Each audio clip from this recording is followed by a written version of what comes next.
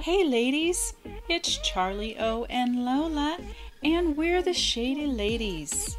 We're a couple of love coaches that love to sit on the patio, drink champagne, and talk about sex and love and relationships with no shame. We're here to help you to keep it exciting.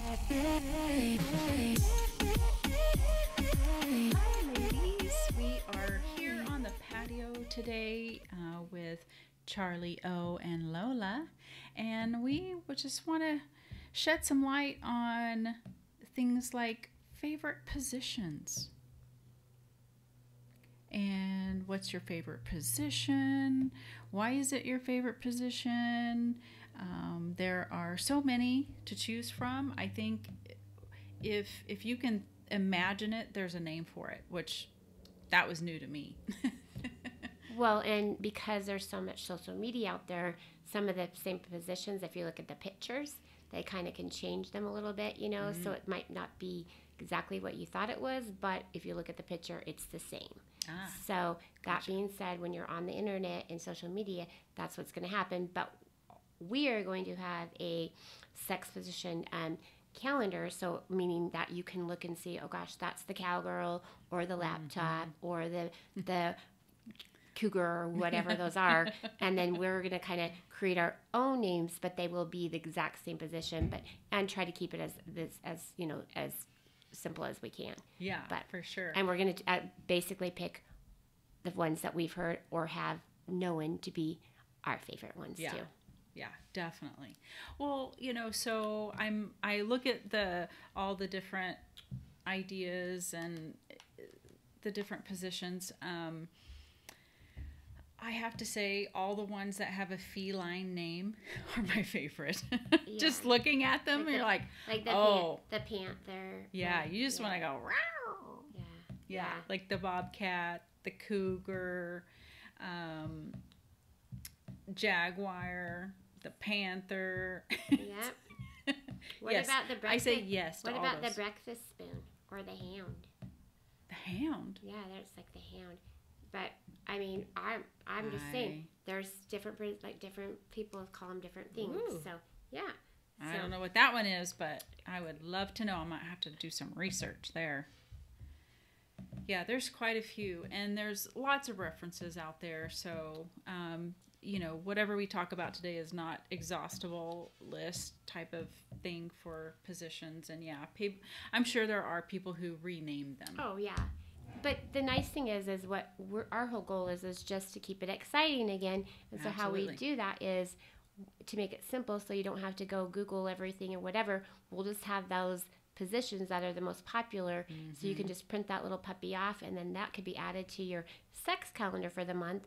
So maybe mm-hmm. you want to be a cougar that night, or maybe next Thursday you want to be a jaguar, or maybe your husband wants to be the cheetah. I don't Yeah. know, or the hound dog. I don't know, but whatever, whatever, Hound dog. whatever that looks like. But this way, it just kind of keeps it simple, and you can get it from us, and you can just basically, as you're trying to um, help yourself with yourself, your love life, whatever that looks like, you have one place to go, and you can print it all off and and keep it exciting. Yeah, definitely. So I, I kind of have a funny story. so Not the hound dog. I had no. Oh, I don't know why I can't hear that word. I just. I would have. I know I can't have sex it. I'm not having it. The hound dog. I'll put in parentheses the hound dog as I create the calendar because I know I can't have that. I just can't There- talk about it. I Yeah. actually have a funny. There's a funny comment about that one. I don't have a story, but I do have a, Okay. a funny. I do have a funny story about positions. So, um, just a little bit. I've talked about that before on my background. Um, my whole adult life was mostly in a pretty closed-minded religion, and so I. I mean, I didn't look at this stuff. I didn't know much about it, and um, That's what they all say. yeah, it was. It was. I, I definitely didn't, and um, shame on me for not doing that. Well, anyway, so back to today, and um, I was with my sweetheart, my husband now. Um, we were just having fun in the bedroom, and he La la la la la la. he named a position, and I was like, "Holy hell, that has a name!" I thought I had kind of come up with it randomly, but anyway, so yeah, so like the reverse cowgirl is there's a name to it, and Ah. I didn't even know, and that that that was I was I was giggling, I was kind of surprised and kind of not, but anyway, that was kind of a funny story on positions. Yes. So you could add that to the um, the um, one for every day of the month sex positions. Yeah. That could be yours. I like and the it. hound dog will be something different. I can't even imagine what the hound dog is. We gotta someone do a Google search really quick. It's called the modified doggy, but they call it the hound dog. I don't know. That's what I told you. They have different names. It's like so I, when you research stuff, it's like what the heck, and then it's like so. To me, a hound dog would be like, uh, yeah, yeah. That to me is the name doesn't be sexy whatsoever. So that will. that be- doesn't sound so sexy. if anybody has a suggestion what you'd like me to call it besides the modified doggy slash hound dog, I am welcome to suggestions because it is not going to be that in my calendar list. So So one of the ones that stand out to me is the bobcat, and um, it's the the guy is sitting sitting up uh, on the bed, whatever, on couch, whatever, and she's facing him. She has her hands underneath her knees, but yet on his shoulders oh, and he's holding her her back kind of close. Okay. So, yeah, that just looks amazing to me. I don't know. That looks like a lot of fun.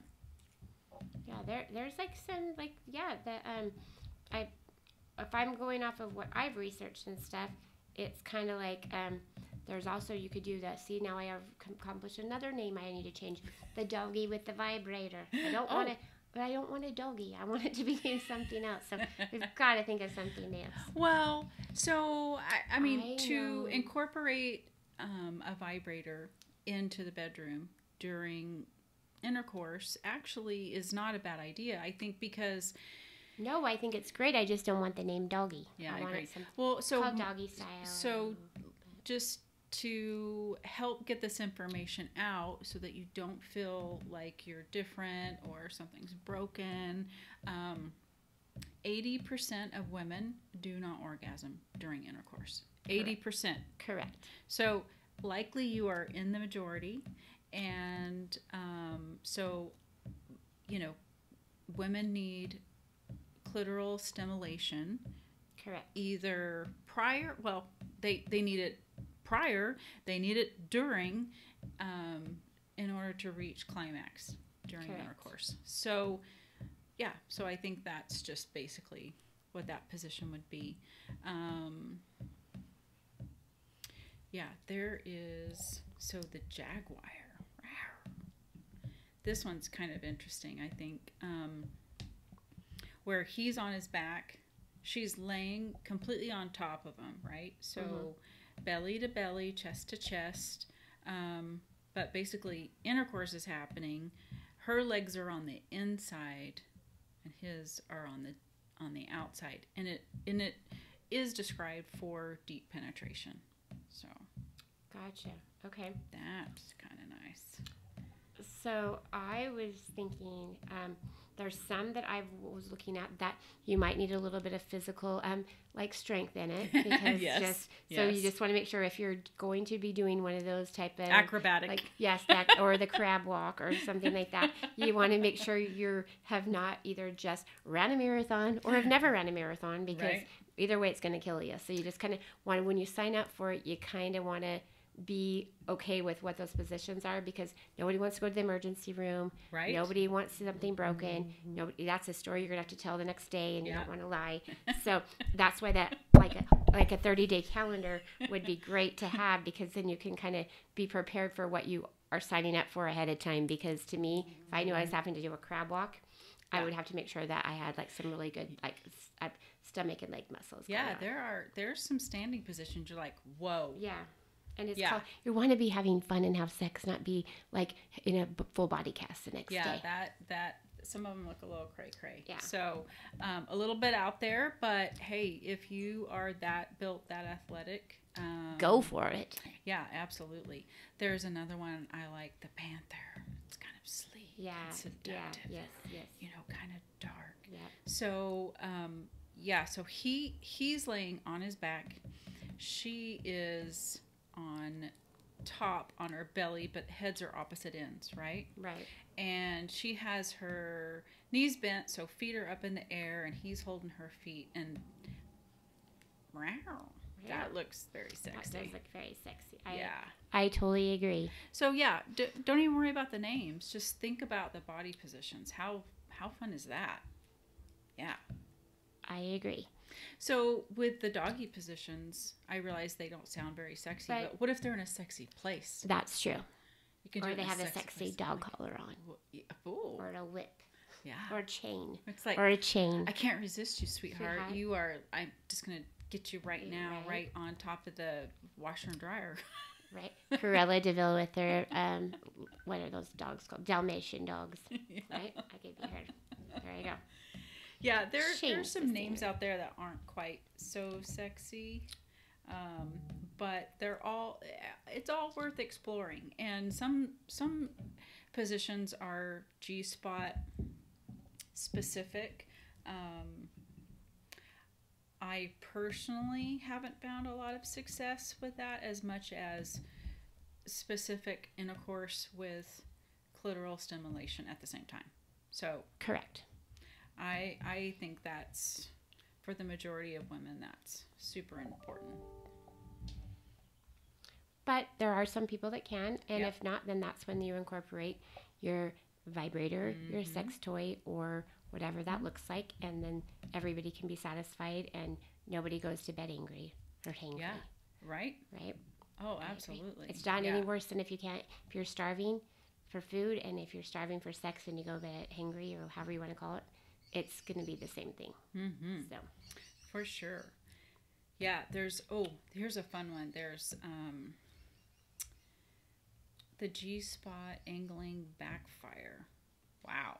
So he's on his knees, okay. kind of sitting on his heels, and she's facing the same direction but bent over.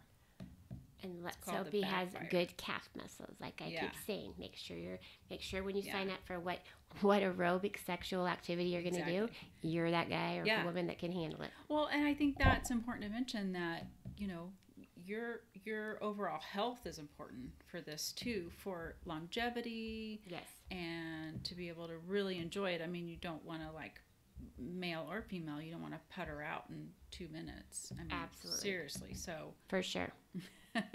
so this last position, the the the backfire, it is um, taken from the Tickle Kitty um, book that of her yeah of her positions, and I I think it's a beautifully done book. They're all looks like kind of pencil drawings, um, but they're very detailed, and they make very clear sense. You you you know, it's not like you're like, what is that, or or anything like that. So we'll we'll provide that link um, to the Tickle Kitty. Absolutely.